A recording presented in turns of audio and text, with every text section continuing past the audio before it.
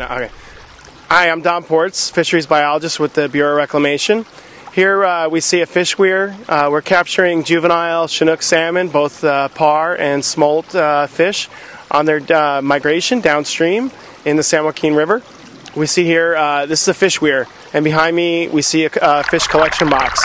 So fish that are moving downstream encounter the weir and are directed into this this collection box that you see behind me.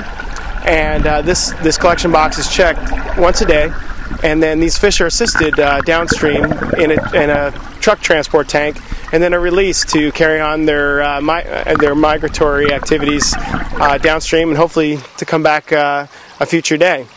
So what you see, obviously, a lot of the water can go through the fence weir, and it's and it's constructed in a certain way that the fish don't get impinged. And you can see the water here moving down along the screen. Some of it does pass through the screen, but the majority of it continues on to the collection box.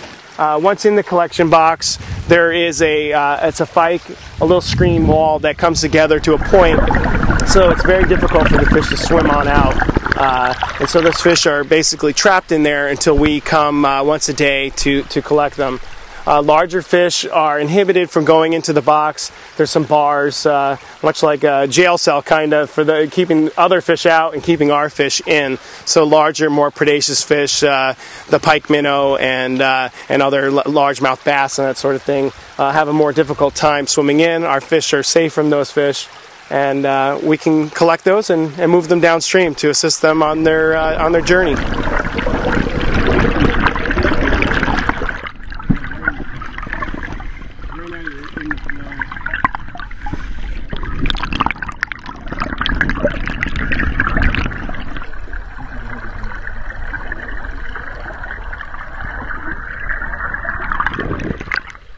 What's the total length, uh, Chuck, on that one? Goes 79. 79? Okay. It says beautiful parr marks on there.